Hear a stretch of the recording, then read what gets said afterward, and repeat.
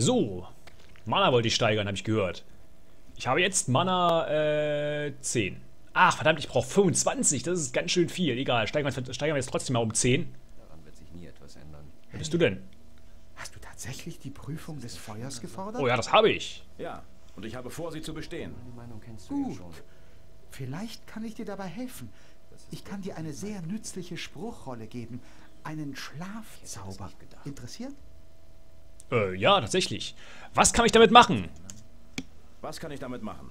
Mit diesem Zauber kannst du Menschen für kurze Zeit in einen magischen Schlaf versetzen. Allerdings nur, wenn ihr Wille schwächer ist als deiner. Das kann sehr nützlich sein, wenn dir jemand im Weg steht. Und woher weiß ich, ob derjenige einen schwächeren Willen hat? Bei den Magiern brauchst du es gar nicht erst zu versuchen. Aber die meisten Novizen wirst du schlafen legen können. Okay, ähm, ja, was willst du denn dafür? Was willst du dafür? Jedem Magier steht bei der Aufnahme ein Wunsch zu. Und wenn du tatsächlich die Prüfung des Feuers bestehst, dann kannst du dich dafür einsetzen, dass ich im Kloster bleiben darf. Hm, ein Gefallen. Ähm, nee, das kommt mir ein bisschen suspekt vor. Nein, ich brauche deine Hilfe nicht. Nein, ich brauche deine Hilfe nicht. Du kannst jederzeit zu mir kommen, wenn du es dir anders überlegen solltest. Okay. Ähm, Moment. Ich muss kurz mal was gucken. Haben wir nicht einen Schlafzauber oder so? Mir fällt übrigens eine wunderbare Erwendung dafür ein. Leichte Wunden, bla bla bla. Äh, Verwandlung in ein Schaf. Ähm, nee, haben wir nicht, aber wir können es einen kaufen. Äh, wir könnten damit ganz leicht den, den, den Hammer klauen, fällt mir so auf. Ähm, aber dazu später. Erstmal werden wir bei Parlan unser Mana steigern, und zwar um 10. Ich will meine magische Kraft steigern. Äh, einmal 5 und nochmal 5. Ist das wirklich wahr? So, da kannst du mal gucken, ähm, wie viel ich noch brauche. Äh, zur nächsten Stufe, das sind noch äh, fast 2000, also ein bisschen mehr als 2000 sogar. Das ist ganz schön viel. Ähm, na gut, gehen wir nochmal zurück zu Gorlax oder Gorax oder Gorax heißt du, glaube ich, ne? Gorax, genau. Ähm, und erwärme ihm einen äh, Ich brauche Ein Schlafzauber. paar Dinge. Eigentlich brauche ich nur eins. Hast du einen Schlafzauber parat? Feuerfall, Lichtblitz, Windfaust, bla. Schlaf. Da ist es doch. Kostet zwar 100 Tacken, aber hey. Den nehme ich gerne mit. Ähm, ich glaube hier rein. Genau. Da unten muss da irgendwo der Hammer sein. Und den Hammer werde ich garantiert brauchen, um äh, den Steingolem zu besiegen. Weil momentan bin ich sowieso gegen alle Gegner relativ machtlos, aber gegen Steingolem sowieso. Äh, war das hier? Ne, ich glaube hier war das. Nee, Moment mal, hier waren die äh, Vorratskammer. Achso, doch. Hier und dann links, genau. So. Schön mal dem. Das Lustige ist, äh, die, die Lampen sehen aus wie so Laborwasser, äh, Laborfläschchen. Ist ja echt lustig. Gut, kurz mal speichern. Auf Zwischen natürlich. Falls wieder irgendwas schief geht. Wir wissen ja auch, Gothic 2 ist voll von Bugs und noch viel schlimmer ist der Spieler hier, der Tefgal, der ist noch viel mehr voll von Bugs. Ähm, so, was haben wir denn hier? Leichte, mittlere Schlaf. Schlaf ist jetzt offenbar die 6, wenn ich das richtig lese. Das kriegen wir hin. Hey du, du hast bestimmt einen viel schwächeren Willen als ich, Garwig. Und hopp. Da schläft er. Äh, Feuerzauber weg. Und den heiligen Hammer genommen. Wunderschön. Was hast du eigentlich noch so dabei? Na, verdammt. Einfach weg. Perfekt. Kann ich den Heiligen Hammer eigentlich heben? Das ist, glaube ich, gar nicht mal so unwichtig. Der Heilige Hammer. Schaden, äh, Fragezeichen, mögliche starke Fragezeichen. Ich kann ihn anwenden.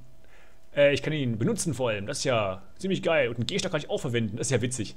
Ähm, aber nein, ich verwende trotzdem meinen Stab. Bis auf weiteres. Wo ist er denn? Äh, Gehstock.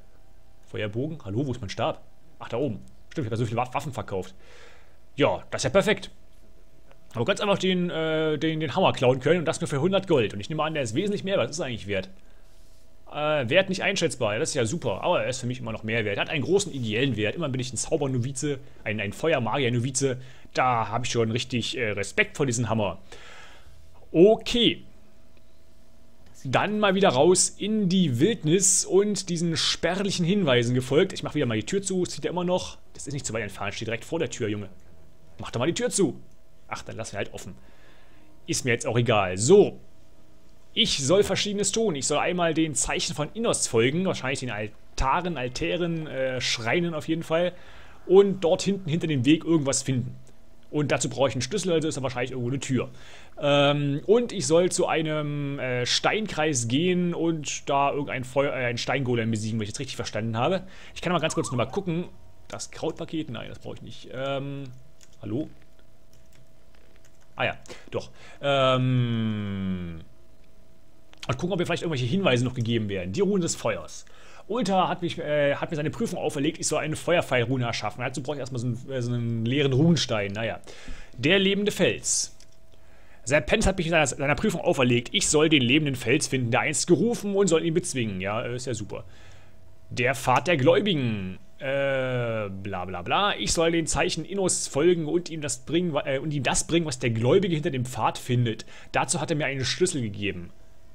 Ja, okay. Das sind ja alles total konkrete Hinweise, wie es äh, den Zauberern so eigen ist. Ähm, egal, ich folge erstmal dem Pfad. Das kann so, äh, so äh, falsch nicht sein. Äh, du, du einsamer Beter, hast du vielleicht äh, irgendeinen Hinweis für mich, Herr Iskarot? Äh, segne mich, ja, segne mich auf meine lange Reise, das wäre nicht schlecht. Ich segne dich im Namen Innos. Der Herr lasse sein Feuer in deinem Herzen brennen und gebe dir die Kraft, nach seinem Recht zu handeln. Ja, äh, danke. Dann zeig mir deine Waren. Zeig mir deine Ware.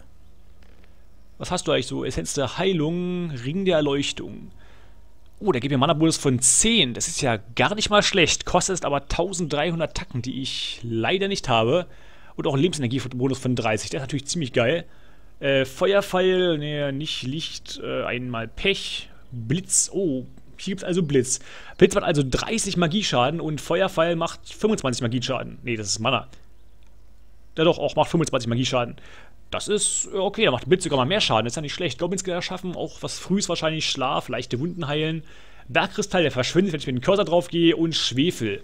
Ich habe schon zum zweiten Mal Schwefel gesehen. Kann das sein, dass... Innos allzeit über dich wachen. Ja, und auch über dich, mein äh, Freund, mein lieber äh, Iskarot.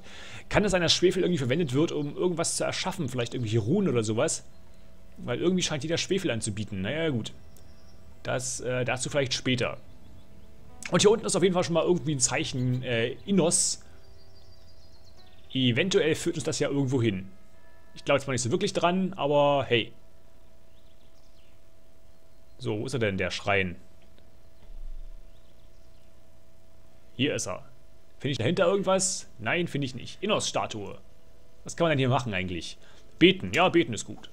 Immerhin bin ich ein Diener äh, von Dingens. Wie heißt der von? Äh, verdammt. Innos natürlich. Spenden. Na, ich gebe dir mal 50. Oh, Lebensenergie plus 2. Das ist natürlich nett. Dankeschön. Ja, warum nicht? Gucken wir mal hier lang. Vielleicht müssen wir hier irgendwie lang. Lustig, ich glaube, jetzt wirklich total im Dunkeln. Das ist unglaublich. Wer bist du denn? Standst du schon immer da? Ich glaube nämlich nicht. Ignara, äh, Igaras, warte mal. Igaras ist doch einer meiner äh, Nebenbuhler. Hallo, Igaras. Es ist geschehen. Innos hat mich erwählt. Und ich nehme teil an der Prüfung der Magie. Ähm, ja, ich bin mit von der Partie.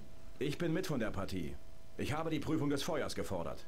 Du hast was getan? Also entweder bist du ein Liebling von Innos oder völlig verrückt. Ich bin völlig verrückt. Hey! blablabla Sachen gemacht. Dann werde ich das wohl auch schaffen. Innos hält seine Hand über mich. Deshalb werde ich diese Prüfung bestehen. Äh, hast du Argon oder Wolf gesehen? Äh, Ulf, Hast du nicht Wolf. Argon oder Ulf gesehen? Wir haben uns an der Herberge getrennt. Ich bin zu den Bauernhöfen gegangen und die beiden sind zusammen losgezogen. Aber wohin, weiß ich nicht. Na, das werden wir vielleicht noch rausfinden. Äh, und? Äh, schon was rausgefunden? Und? Schon was herausgefunden? Da du es sowieso nicht schaffen wirst, kann ich es dir auch sagen. Mensch, super. Spare dir deine Suche bei den Bauernhöfen. Dort gibt es nichts, was dich weiterbringt. Äh, ja, vielleicht können wir zusammenarbeiten. Vielleicht können wir zusammenarbeiten. Vergiss es. Diese Mission werde ich alleine schaffen. Du wärst mir nur ein Klotz am Bein. Ja, wenn du das sagst. Ähm, weißt du etwas von einem lebenden Fels? Weißt du etwas von einem lebenden Fels? Nein. Hat dir Serpentes diese Prüfung gegeben? Ja, warum? Ich könnte mir vorstellen, was er meint. Du wärst nicht der Erste, der an dieser Prüfung gescheitert ist. Wo genau finde ich diesen lebenden Fels? Folge einfach immer diesem Weg. Es ist ein ganzes Stück, dann kommst du an einem Fluss vorbei. Geh einfach den Weg weiter den Berg hoch. Da oben muss es irgendwo sein. Wenn du über eine Brücke kommst, bist du zu weit. Wenn du überhaupt so weit kommst. Mehr werde ich dir nicht verraten. Schließlich ist es deine Prüfung. Hm, Ja, okay. Äh, Dankeschön. Ähm, ja, warum nicht? Es war doch total ein lieber Typ gerade, ähm, der überhaupt nicht höhnisch mit uns geredet hat. Es fängt gerade an zu regnen. Natürlich, wie es so sein muss, wenn man auf eine Queste aufbricht. Da kann kein äh, stolzer Sonnenschein sein, wie bei äh, Herr der Ringe, die Gefährten oder so. Nein, er muss schon alles, muss schon richtig schön pissen. Das ist wunderbar. Und was haben wir denn hier? Wir haben hier Pflanzen. Blauflieder. Schön. Ja, ich nehme an, da oben kann ich hin, aber ähm, ich soll erstmal dem Weg folgen. Das werde ich auch erstmal tun. Und ich werde auch versuchen, auf dem Weg zu bleiben, denn ich weiß, äh, auf, äh, wenn man nicht auf dem Weg bleibt, ist es sehr gefährlich. Es ist auf den Wegen ja schon gefährlich genug für mich. So. Ich hoffe doch, mich wird jetzt kein übermächtiger Gegner hier angreifen. Scavenger könnte ich vielleicht gerade noch so besiegen, auch Riesenratten. Oh, und Wölfe. Wölfe gingen vielleicht auch noch. Gut, dass ich gerade gespeiert habe. Ein Wolf äh, wäre okay für mich, glaube ich. Hallo, Wolf. Ja, hier bin ich. Komm, greif mich an. Na komm. Kleiner Kackpudel hier. Oh Mann, mach ich viel Schaden.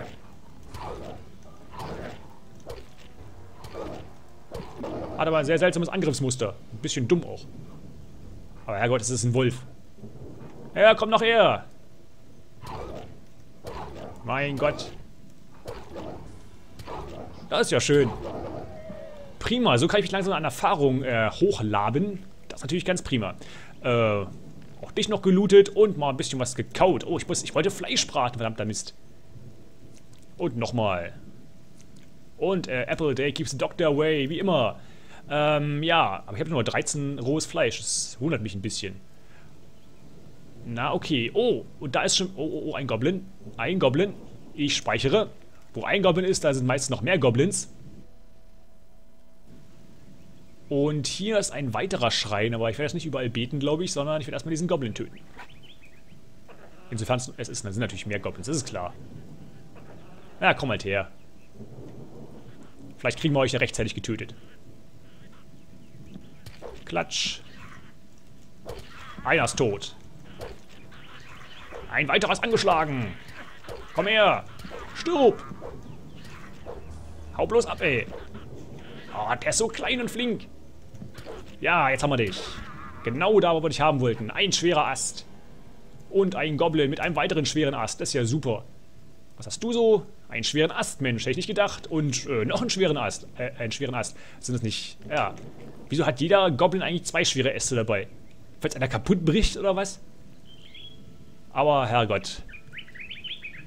So, wir sollen ja weiter lang gehen und es soll ein ganzes Stück ja sein. Aber ganz nebenbei, wir können ja auf die Karte gucken. Die wieder mal relativ lange dauert.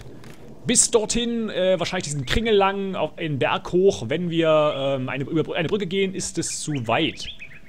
Ja, okay. Das ist doch, ist doch ein Deal. Und da hinten ist ein weiterer Schrein. Aber ich befürchte fast, dass wir wahrscheinlich irgendwie da hoch mussten. Ähm, weil Felsengolems werden doch wahrscheinlich eher auf, äh, äh, auf, äh, in, in felsigen Gegenden zu, äh, zu finden sein. Aber gut. Hast du noch ein bisschen Fleisch gegessen, wegen den Wölfen. Und weiter geht's. Kurz mal auf die Zeit gucken. 14 Minuten, ja, das ist okay.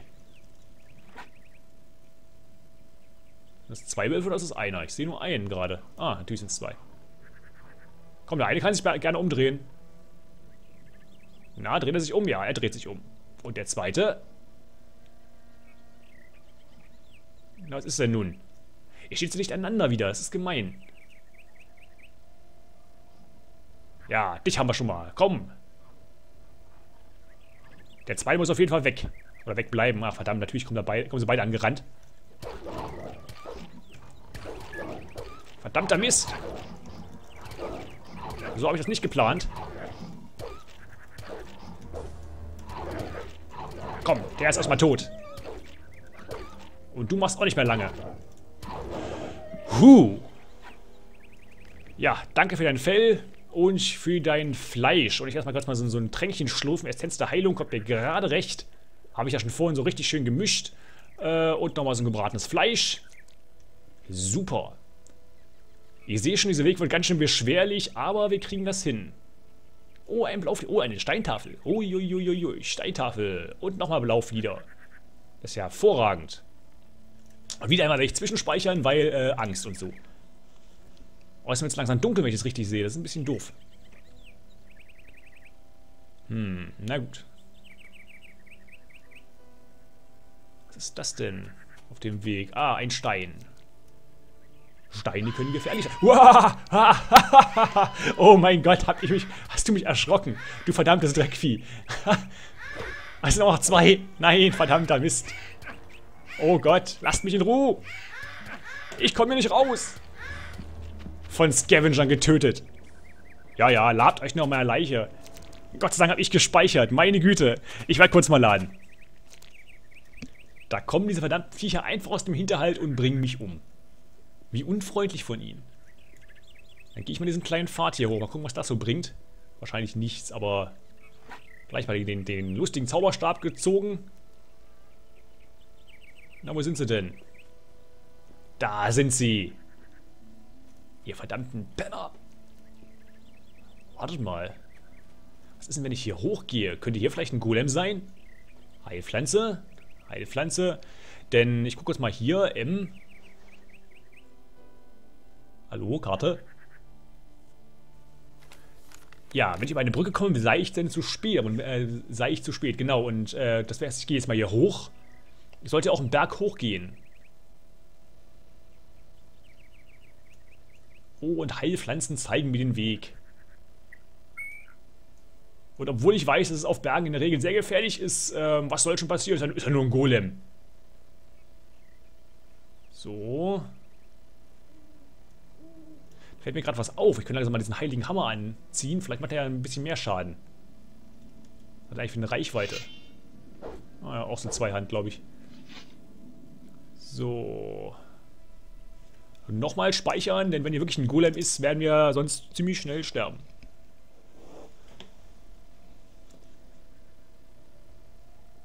So, hier ist schon äh, ein Trank. Und ein Golem! Okay, das war, glaube ich, der schnellste Kampf gegen einen Golem, den ich jemals bestritten habe. Nett. Magischer Golem ist nichts zu holen. Nicht mal ein Golem-Herz. Ist ja ein bisschen doof. Äh, einmal Gletscherquarz. Jetzt können wir ein bisschen looten hier. Ein Trank und noch ein Trank. Und was ist das?